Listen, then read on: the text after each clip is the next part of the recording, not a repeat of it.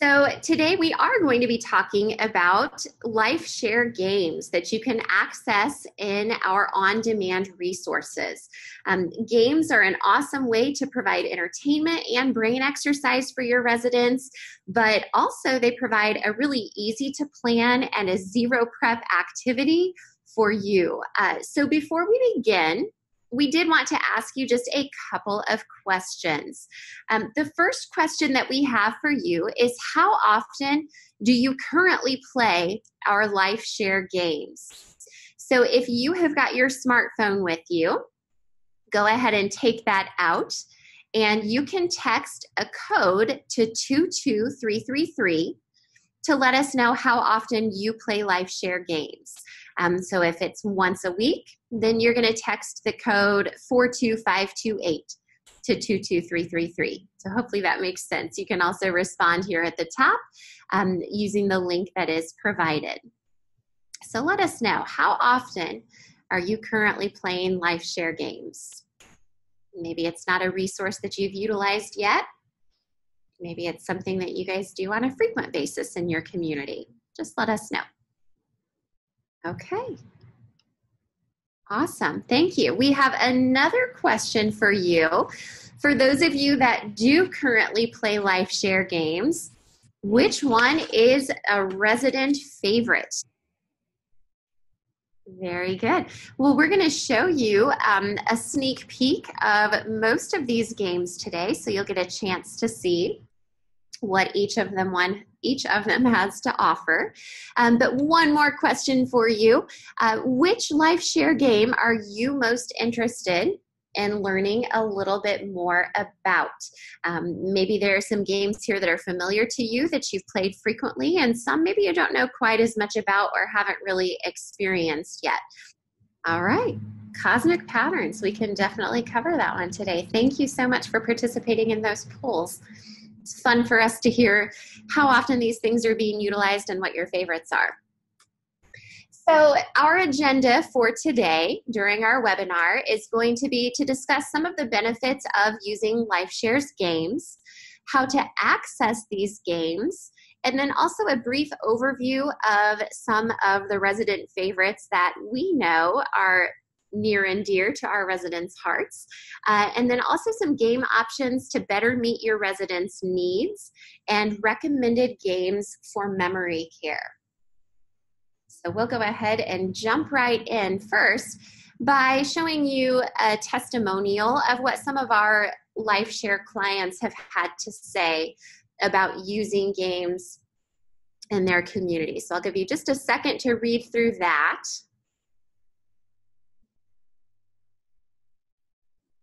And just reiterate that games serve as a great group activity in your community, but they can also serve as an individual activity as well. Um, a lot of our games have categories that are going to help you find out your residents' interests and really help you with one on one time, as well as keep their cognitive skills sharp.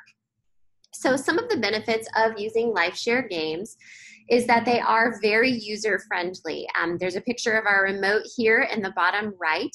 It is simple to use. Um, the black buttons are going to navigate through the system. Uh, so you can use the arrows and the OK button to navigate, which should be pretty simple. Um, then they're also adaptable to all skill levels. So we'll talk a little bit today about some of our specific games and how you can cater them to your residents' specific needs. Like I mentioned before, you can also get to know your residents' interests and abilities based on the variety of games and the categories that we have available. And finally, it's going to help keep your residents' cognitive skills sharp. Um, our games are fun to play, so not only do they provide fun and competition, um, but they do help give your residents some brain exercise and they also provide them with opportunities to reminisce. So, in order to access the games, when you are standing in front of a community share device, you're going to take that white LifeShare remote and press the black OK button. That black OK button is going to take you to what we call our home screen, um, which actually you can see here on the bottom picture. And you can either use the shortcut by using your right arrow and then the down and OK button to select play a game. Or you can stay on that left hand side, navigate down through the channels, and select the games channel. And then it's going to come up with a list of our available games. You can select your game and get started from there. So we feel that there is really a little something for everyone um, to enjoy in the LifeShare games. We have everything from chess and tic-tac-toe to things like Name That Croon, which is kind of a different version of Name That Tune, which we'll talk about, and also Guess What. Um, some of the games that we hear the most about as being favorites of the residents that we work with are Name That Croon where the residents have to guess a song title or artist. Uh, guess what is another favorite, where they guess the picture based on the category. Uh, word search is another favorite where they simply hunt for words just like you would, um, you know, in an activity book word search. And then the last one is chasm, and that is where we do the color and shape matching, and they have to figure out a pathway to get from one side to the other. Um, so, as I mentioned before, we do have a wide variety of games. I'm sure there's a game in there that is going to meet your residents' needs. So we do have a few different gameplay options. Um, when you are picking a game in a group setting, you definitely want to make sure you're choosing a game that is going to be conducive to playing in a team or taking turns. Uh, so we do have some games that are catered to those uh, different ways of playing with a team or also taking your turns. Um, the teamwork games are going to allow your residents an opportunity to collaborate as they come up with an answer um, or complete a task. The turn taking is going to give an individual resident a chance to shine, uh, but they still get to be collaborating and sharing in that experience with others. And then obviously we have some games that you can use for individual play as well.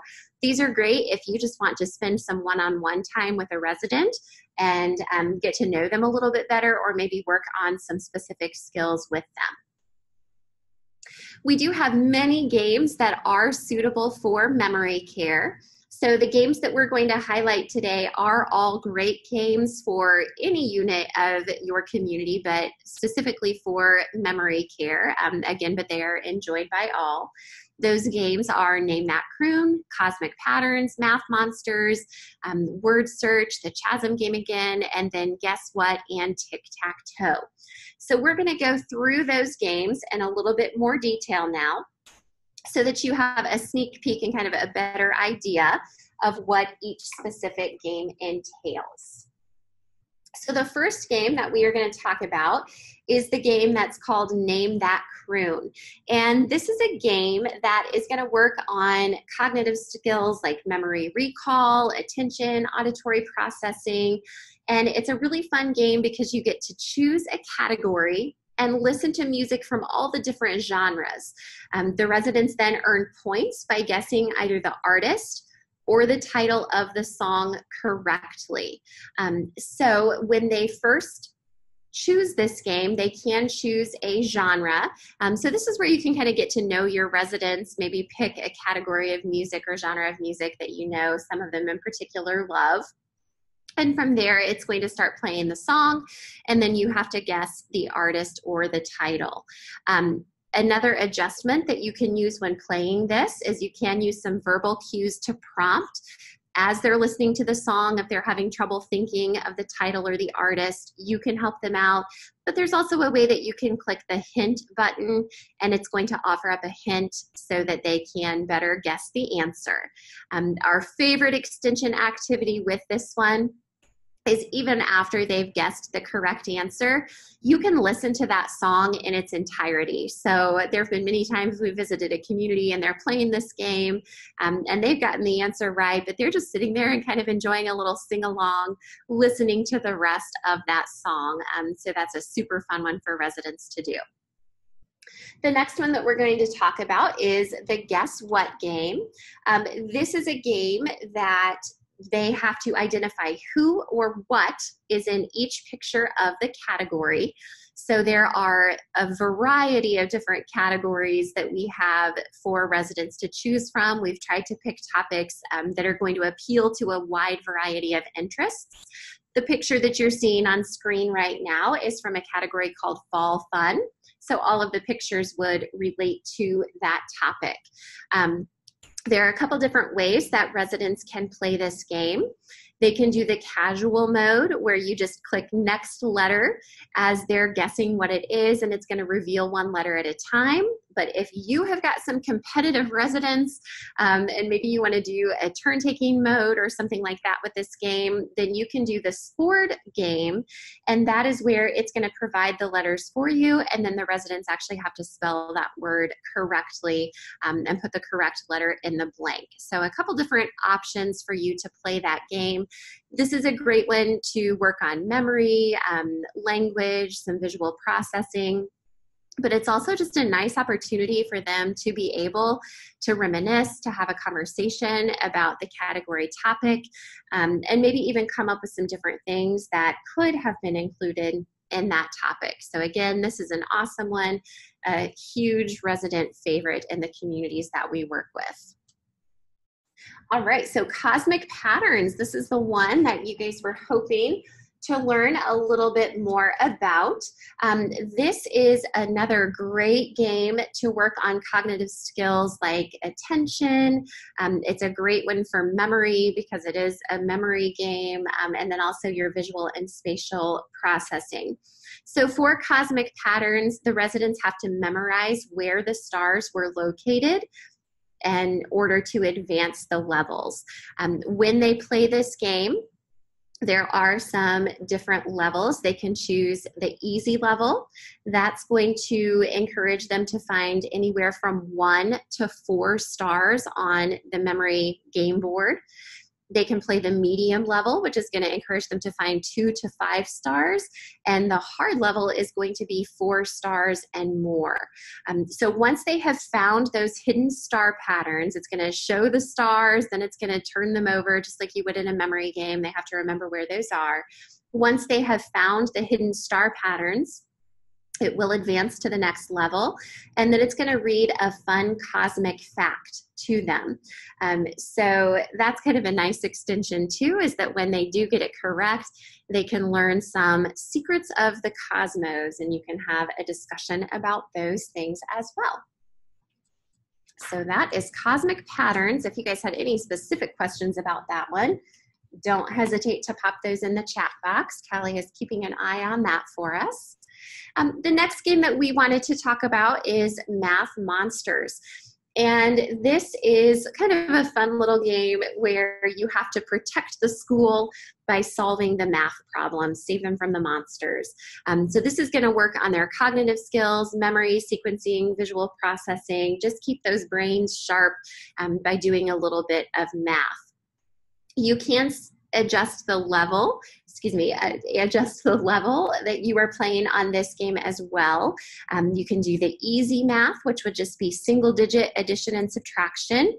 We have medium math, which would be double digit addition and subtraction.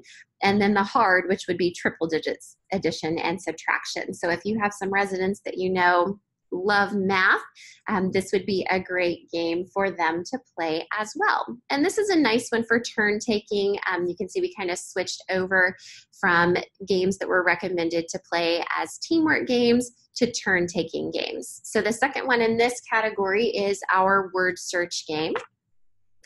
The word search game is going to work on a lot of the same categories and skills for your residents, such as attention, um, perception. It's also going to be a great opportunity to work on language skills and then also that visual and spatial processing. Um, each week we have a new word search category available, but the game does rotate automatically through our entire database. Um, so this one, it will just pop up with a category for you rather than you going in to choose it. And again, like in the Math Monsters game, there are some different levels that you can choose from. If you choose the easy route, the words will be spelled either right from left to right or up to down. Um, if you choose the medium, they're going to be spelled up, down, left, and right. Uh, and then the hard category, they're going to be spelled in any direction, including diagonally. Um, so again, you can adjust your levels on this one. And another extension of this activity might be to have a discussion about the category. What other words could have been included in this category um, and things like that. So, again, just some great opportunities for good conversation with your residents. The next great game for turn taking is going to be Chasm. And this is a game that, again, covers a wide variety of cognitive skills that you can see listed there for you. Um, in this game, the object is to match colors and shapes in order to move the guy across the bridge. Um, so to play, you're going to click the play button and um, navigate using the arrows to get the professor across the bridge. Um, if you stay too long to figure out your next move, then the steps will crumble and it does kind of take you back and you have to go through that level again. So, this is a nice one for you to have an opportunity before your residents take control of that remote to navigate the professor across to visualize and trace the path. Um, so, for example, in this one, they have to either go to a shape that is the same or a color that is the same. So, he could navigate to the red heart, he could navigate down to the black heart because they're the same shape, can navigate to the black star because they're the same color from the black star to the black square again because they're the same color. Um, so a great thing for you to kind of talk through that with them ahead of time and visualize or even trace that path kind of with your finger in front of the screen and work through that together. Um, some extensions for this one uh, if you wanted to have an art activity they could do something with colors and shapes um, some counting activities, different things like that, that are just going to help them recognize those patterns and visualize those paths. So the last game that we're going to cover today in our webinar is the tic-tac-toe game. This is a great game to play individually, um, or you could even play it as a turn-taking game. It does cover a wide variety of cognitive skills. Um, and this one, one of the best adjustments that we have to offer for this game is you can start out by playing in that center square. That's going to make it a little bit easier. Um, but if your residents start with a square other than the center square, that is a great way to kind of advance the skill level on that um, and makes it a little bit more difficult for them to win. And on this game, you are playing against the computer.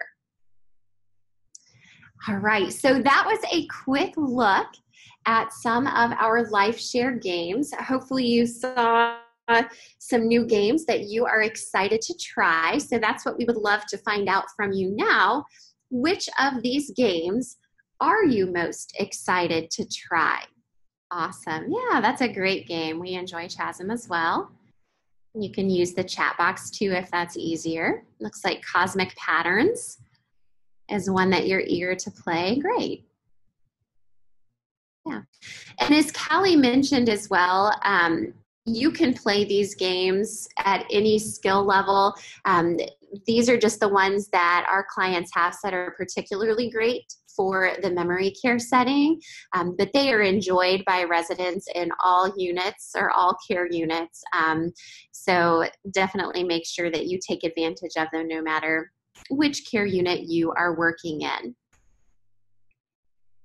All right. So we're going to go ahead before we leave today and we're just going to show you a sneak peek of what Cosmic Patterns looks like. So we'll begin by picking our skill level. We chose the easy. So you can see it's just like a memory game. Showed us where that star is. We now have to navigate over to find it. There it is. And now it's going to give us a secret of the cosmos. So it gives you a fun fact after you get the answer correct. And it is timed. You might have noticed the countdown there on the left-hand side. Okay. Very good. So a fun game that appeals to many. It'll teach you some secrets of the stars all at the same time. So finally, we're gonna hop, oh, we're gonna go back into one more game. Let's take a look at Chasm. That was one that I know you guys were most excited to try as well. So we have our professor now. You can see we just have to navigate by matching the shape or the color to get to the other side. Once they've made it successfully, it'll give you that congratulatory message and then you can advance to the next level. All right, so finally, we have got some resources to share with you today. Um, there is a games guide, it's a PDF that is available on our website. This is a great thing for you to print off if you have activity staff members that are going to be leading a game for you. You can simply access the pages out of this document that apply to the game you'd like them to try, print those off, hand that over to them, and then they can take that and very quickly enjoy that activity with residents with little to no prep time. We also have a guide here that is the group game activity resource for memory care. So it's just going to give you some ideas of games that are great to use with your memory care residents. Then we have a couple of vlogs listed here that you can watch in your free time as well. They're all two to three minutes in length, super short, um, but it's going to give you just another quick overview into accessing our on-demand games. So finally, if you have any additional questions about the on-demand games, we'd love for you to type them in the chat box for us so that we can address those. Or if you have any other questions about accessing on-demand resources, you can let us know there. We do thank you so much for your time today. Again, we know how busy you are, and we truly appreciate when you take time out of your busy schedule to learn a little bit more about what LifeShare has to offer for you and your residents. We would love to have you attend our next webinar. It's going to be on November 12th at 2 o'clock p.m. Eastern Standard Time. And the topic is going to be implementing new technology in a senior living panel. Um, so we're excited to try a different format for our next webinar um, that involves some of you a little bit more um, and gives you the opportunity to ask them some questions. So, those of you that are in the field every day, um, we're going to enlist some of your help to be on that panel, and you can ask some questions about implementing new technology um, and our LifeShare products. So we'd love to have you join us for that.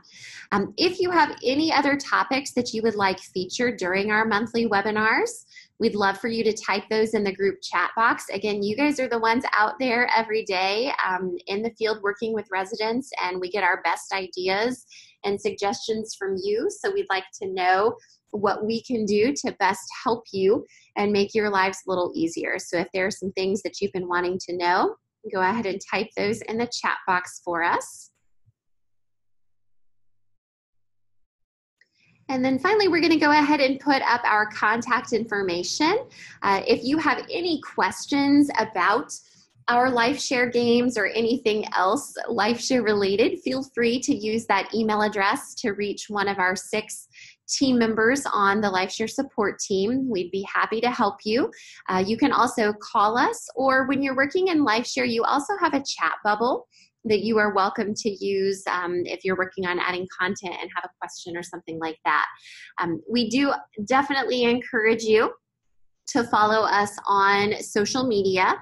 We are on LinkedIn, Twitter, and Facebook, and we offer a lot of valuable tips and tricks that we would love to share with you on that platform. And we'd also love for you to follow Spectrio, our company, our parent company as well. Um, we have broadened our product offerings to scent marketing and on-hold messaging, all sorts of great things that could definitely benefit your community. So give them a follow as well to learn about other product offerings that we now have available. Again, thank you, thank you for your time today. We truly appreciate it and hope that you found this helpful and that you are excited to go back to your community and play some of these great games with residents. And if you have any questions, again, don't hesitate to reach out to us. We will stick around in the chat box for a little longer just in case you have any further questions today. But thank you again so much for your time. We really appreciate it. Have a great afternoon.